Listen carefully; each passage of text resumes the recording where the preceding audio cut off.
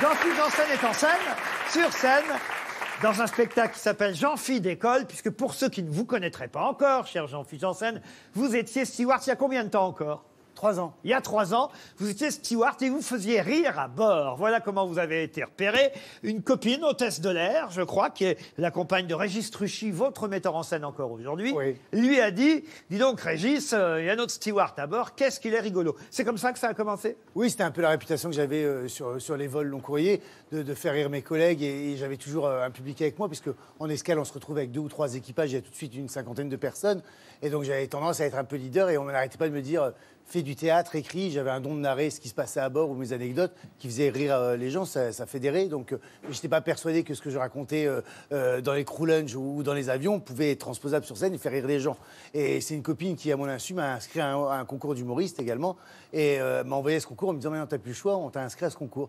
Donc j'avais écrit mes 10 minutes de sketch et j'ai- passé toutes les étapes de ce concours avec ces 10 minutes et je suis arrivé finaliste. Et là, je me suis dit effectivement, il se passe quelque chose et j'ai commencé à m'intéresser à l'écriture de mon. Et vous avez fait rire dans les festivals, sur scène, dans les tremplins aussi, parce qu'il y en a pas mal, un peu partout à Paris et en France. Moi, je dois dire que je vous ai découvert il y a maintenant un an et demi à peu près. C'était au Festival d'Avignon. Quelqu'un m'a dit, euh, ma collaboratrice Sophie Asbrook m'a dit, Ah, mais il y a un type vraiment rigolo, tu devrais aller le voir. Bon, il y avait pas mal de spectacles à aller voir en même temps, donc j'ai vu juste quelques extraits sur vidéo, mais même sur vidéo, je dois dire que tout de suite, je dis, alors là, ce type-là, il est quand même incroyable. D'abord, il y a cet accent ch'ti que là, vous effacez un peu ce soir. On sent que vous êtes dans une émission sérieuse. hein. Le côté ch'ti disparaît. Ouais, parce que forcément, ça me rend moins crédible si je parle ainsi.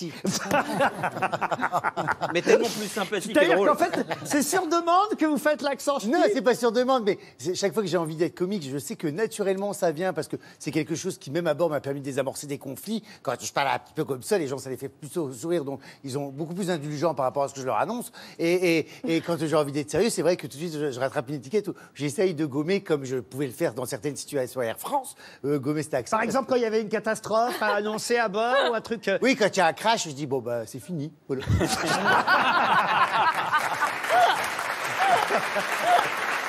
Alors, je regarde cette fameuse euh, vidéo il y a à peu près un an et demi, c'était l'été, en plein festival d'Avignon. Puis tu vois un type quand même avec cet accent ch'ti. Bon, tous les ch'tis parlent pas comme ça avec cette voix de canard non plus. Non, c'est moi, j'ai une voix de tête et une voix de canard. C'est vrai que je fais coin-coin souvent, mais euh, c'est quelque chose qui me caractérise. Mais tous les ch'tis ne parlent pas comme ça. Heureusement.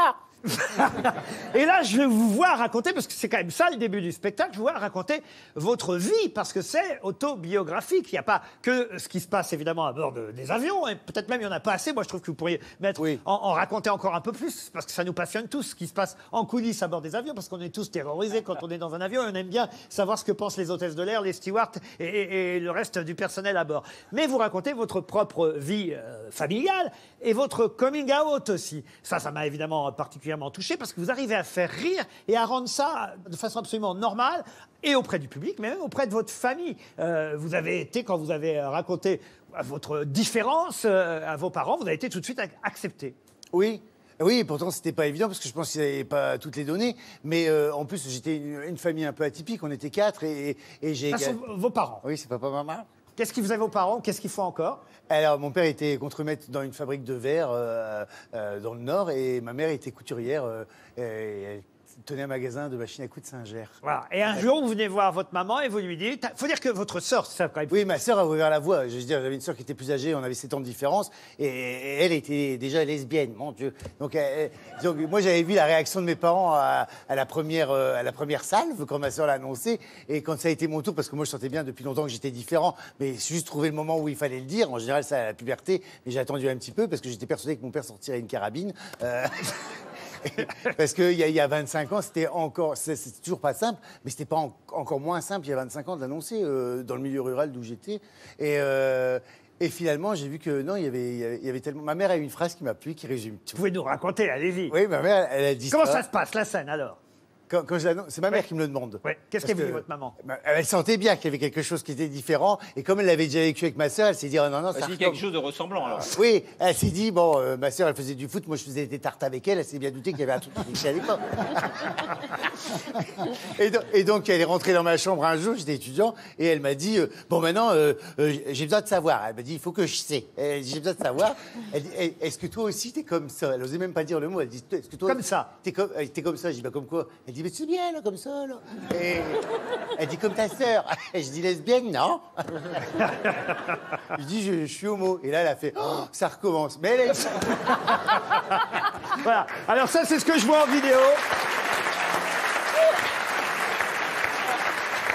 Et quand, quand j'ai vu ça en vidéo, je me dis, ce type-là, il est quand même assez incroyable d'oser raconter ça comme ça, de façon marrante, de faire rire le public, de faire accepter quelque chose qui est évidemment euh, acceptable, mais pas toujours. Et c'est quand même gonflé de le faire sur scène parce que c'est pas si évident. On a toujours plus ou moins peur, j'imagine, la première fois des réactions euh, du public. Ça a dû être votre cas. euh, Oui, aussi. oui, je me demandais comment ça Et puis finalement, on s'aperçoit que le public accepte ça évidemment très très bien, ça se passe très bien. Ça, Stewart, l'accent ch'ti, je me suis dit, ce type-là, il va faire rire la France, j'en suis sûr. Je vous ai fait venir aux grosses têtes. Et alors en huit jours, faut quand même que je le dise aux autres invités, en huit jours, une popularité, mais absolument hallucinante. Vous avez une empathie, il y a quelque chose qui fait que les gens vous aiment tout de suite. Alors après, il faut aller voir votre spectacle, évidemment, et écouter tout le reste. Ça dure combien de temps votre spectacle? 1h20. 1h20. Et je dois dire qu'évidemment, le public est hilar pendant euh, 1h20. Voilà pourquoi vous prolongez à l'Alhambra et que vous êtes en tournée dans toute la France. Ça s'appelle Jean-Phi d'école Courrésie. Yann, vous y êtes allé déjà? Et ensuite Christine. Jean-Philippe Janssen fait partie des gens qui, s'ils en faisaient un tout petit peu moins, seraient beaucoup moins drôles. Vous voyez ce que je veux dire? C'est parce qu'il a poussé le curseur très très très très très loin, jusqu'au bout d'ailleurs, que c'est drôle. Il faut quand même dire aux, aux téléspectateurs que Jean-Marie Bigard à côté, c'est Saint Thomas d'Aquin. hein. Euh, non, et d'ailleurs, euh, peut-être que, et on en reparlera, parce que moi j'ai vraiment énormément ri pendant ce spectacle, parce qu'il y a un truc chez vous qui, qui n'a pas de prix.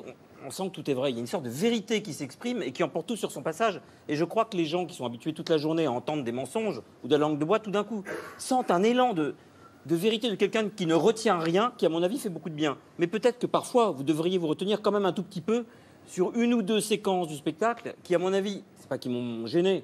Je suis pas un saint non plus, mais franchement, votre spectacle mériterait d'être parfois un petit peu nettoyé de certaines euh, grosses vulgarités qui sont euh, non pas indignes de vous, parce que vous êtes indigne de toutes les vulgarités, mais euh, qui donneraient au spectacle un peu plus de tenue et qui enlèveraient rien au fait que vous les enlevez. Ce serait plus un souffle peut-être plus sain. Mais il n'ose pas parce que le public rit. Eh oui, le ça. public rit tellement C'est que. votre concession à son Euh, public. En fait, je me, je me je- Vous voyez de quelle partie je parle Oui, bien sûr. euh, Le sonar. euh, C'est un sketch dans le spectacle. Oui, c'est un, sketch. Ça représente trois minutes hein, dans le spectacle, cette, cette séquence particulière euh, que tu cites euh, sur ma descente dans une boîte échangiste. Mais là aussi, c'est pareil. C'est un parti Il faut dire que c'est le quotidien des stewards, ça. de, Ça de, s'échange vraiment beaucoup quand même. de- de tomber dans les boîtes échangistes. Non, mais de. de- Dans de- les escales, si. Vivre euh, des Le choses personnel un- de bord, il s'ennuie dans les escales. des choses un peu borderline parce qu'en escale, on a des, des- des- des tentations, on sort souvent, euh, euh, donc euh, où on va faire du shopping, on va voir des musées, et il arrive aussi que des fois on fasse une soirée qui soit un peu plus arrosée et qu'on termine dans ce genre d'endroit. Ça a été mon cas parce que moi j'ai tendance à suivre le ah, j'y vais, voilà. Euh, quand je suis à 2 grammes par mois, je suis tout le monde, moi, c'est pas grave.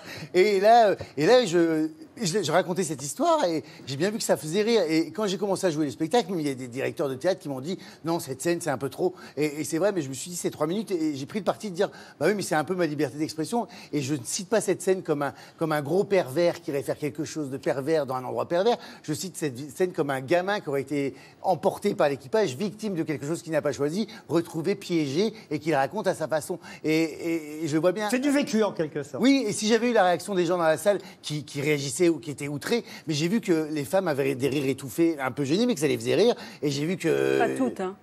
Euh, Mon angoisse se trouvait ici.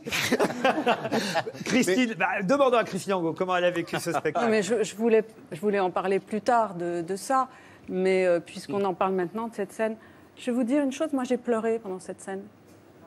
Mais pas de rire. hein. Pleurer, Oui, j'ai pleuré. c'est un peu fort. Non, mais, oui, mais, non, mais c'est la vérité. Donc je vous le dis parce que c'est important que vous sachiez aussi. Parce qu'en effet, comme les gens rient très fort, alors forcément tout le monde rit, parce que bon, quand quelqu'un rit, ben, il faut rire aussi, parce que bon, on va pas avoir l'air de pas rire. Bon, euh, mais euh, Ah, moi, je vous ai vu, vous ne riez pas. Vous, vous- vous voyez très bien, je peux vous dire que vous n'avez pas ri. oui, en effet. Bon. Donc, non, ben, je, vous voyez, donc je ne vous mens pas. Mais non, non, non. Donc euh, non, j'ai pas ri parce que parce qu'en effet ça m'a ça m'a pas fait rire parce que ça m'a blessé. Euh, moi, ce, qui m'a plu, il y a quelque chose qui m'a plu aussi, hein, c'est qu'on sent que les gens vous adorent parce qu'en effet il y a quelque chose qui est très, il y a beaucoup de séduction. On voit, on, voit qui vous êtes et donc euh, il y a quelque chose de euh, bien sûr, de, je sais pas, cette, oui, il y a une sympathie, il y a quelque chose comme ça. Donc sur qui vous êtes, sur ce, lien que vous avez avec le public, je trouve ça super, quoi, vraiment. Mais après, il y a ce que vous dites, parce que vous dites des choses quand même. Et c'est pas seulement des blagues ce que vous dites. Il y a quand même une donnée très profonde euh, qui, je vois bien que vous-même, vous avez l'air de même pas y penser, parce que vous dites non, mais moi c'est juste un gamin comme ça. Ouais, ben, ce gamin, il- il transporte avec lui une misogynie, mais tellement profonde. Et pour prendre l'exemple de cette fameuse scène, c'est pas le seul endroit, hein, parce qu'il y a d'autres endroits où, quand je lis, ça c'est euh, qui qui fourre la dinde, c'est qui qui envoie la purée. Ça c'est pas dans la scène, c'est dans la comparaison la lesbienne et le garçon oui. homosexuel. Bon, voilà, ça c'est pas dans la scène. Il y, a- il y a quelque chose qui est tellement vulgaire que je ne peux pas rire. Ça me, ça me fait mal, quoi. Voilà. Bon. Alors, et sur la scène en question, qu'est-ce qui se passe? Il y en a fait une partout. Je crois que c'est à Bangkok, quelque chose comme ça. Oui. Voilà. Donc, euh, il y a une description, euh, le, narrateur que vous êtes décrit, les, les gens qui voient, qui sont dans des postures plus ou moins avantageuses. Il décrit particulièrement les femmes et le corps des femmes. On ne peut pas dire que ce soit euh, Non, c'est pas les femmes et les particulièrement. corps des femmes, c'est la femme en question que j'ai Oui, vue ce soir-là. enfin, bon, comme par pas hasard. Oui, c'est une femme plus une, qui est là, une autre qui attrape un poisson avec son vagin, qui ensuite le recrache avec le vagin. D'accord. Donc, et ensuite, euh, il y a surtout le moment où le narrateur que vous êtes, on lui dit bon ben voilà, là il faut que tu y ailles, hein, il faut que tu ailles la lécher celle-là. Et donc vous y allez. Le narrateur va lécher cette femme. Le sketch a- est joué par Christine Angot. Ouais, C'est ouais. bien aussi. Oui, c'est bien aussi. Et il y a chacun, reçoit. Ah oui, Et il oui. y a, et il y a Chacun une espèce de, il y a une espèce de Chacun- dégoût comme ça. Il y a un, un dégoût de, de- de ce que vous sentez dans votre bouche euh, qui moi me fait pleurer. Heureusement, vous avez le droit de Je- pas aimer. je vous dis, Et heureusement qu'il y a un voilà. débat. euh, tout Voyez, n'est pas euh, obligé d'aimer euh, voilà. ce- cette séquence, Moi, ni mon dis. spectacle, ni moi-même. C'est une façon de raconter les choses. Euh, moi, je le vis beaucoup plus légèrement. J'ai pas Ouais, du tout le sais. dégoût du corps des femmes. J'avais le dégoût de la situation et j'ai raconté ma gêne en vivant la situation et en ne pouvant me défiler de cette situation parce que, parce que j'étais en représentation avec des copains. Donc, c'était ça. Mais, mais j'ai beaucoup de dérision avec moi-même, mais j'ai aucune. Je me, je me suis dit en, entend- en, en vous entendant. et dans votre bouche, j'ai l'impression vivre un fi- de- faire un film d'horreur. Donc, euh, c'est un peu du- ça. C'est un peu ça. Et c'est pas du tout Et, ce que je et- raconte. et- et en, en- en vous- en- en sortant de vos spectacles, je me suis dit, oh ben de toute façon, toutes leurs histoires de MeToo et tout ça, c'est rien, c'est de la comédie. La misogynie est un truc beaucoup trop profond, beaucoup trop ancré dans euh, le- le- le- la mentalité euh, des, des- des- des- des gens, parce que beaucoup de gens rient, hein, les gens rient. hein. Euh, que je me suis dit, non mais ça c'est... Oui, ben, vous, ça vous fait rire, mais c'est bien. Mais c'est quand même de la misogynie. Et la misogynie, c'est vrai, ça fait rire. Bon.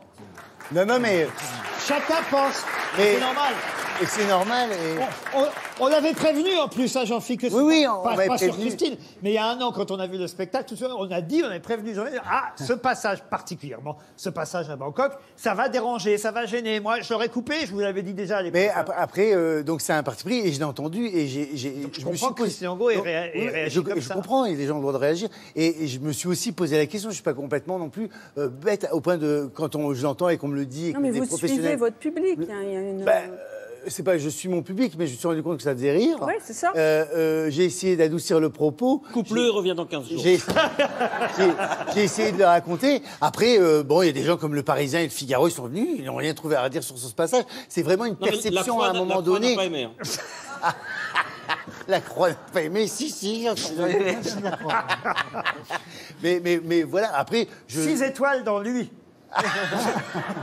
je comprends que je sois attaquable sur, sur ce passage, mais. mais, euh, mais je pas vous attaque pas. hein, Je vous Non, dis non, ce non, que j'ai ressenti, c'est tout. Mais elle a dit qu'elle a aimé. Qu'elle Mais n'a pas mais- ri, mais qu'elle a aimé. Mais quand vous avez raconté ça, j'ai l'impression qu'on parlait pas du même spectacle. Ça m'a horrifié. J'ai eu peur. J'ai eu peur de ma propre scène. Ah ben c'est un peu le but hein, quand même. Mais écoutez, l'essentiel c'est qu'effectivement le public, c'est votre premier spectacle, il faut dire aussi. Oui, hein. Il faut oui, quand oui. même rappeler. Il y a quand même, vous l'avez dit, trois ans, il était à bord d'un avion, il fait son premier spectacle. Il y a forcément des petites choses qui sont Oui, encore il y a des ma- alors, perfectibles. Il y a des maladresses et, et- et c'est mon premier spectacle. Et en général, le premier spectacle est souvent autobiographique. On y raconte sa vie. Donc c'est pour ça que je, je pense que je mets beaucoup de sincérité et de vérité. Ce qu'on espère, c'est qu'il n'y a pas eu d'autres escales que vous nous avez pas encore racontées.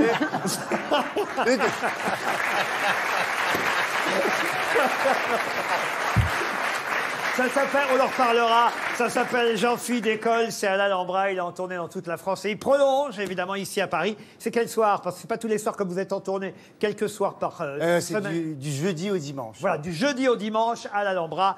Faites-vous votre opinion vous-même, ça s'appelle Jean-Phi d'école.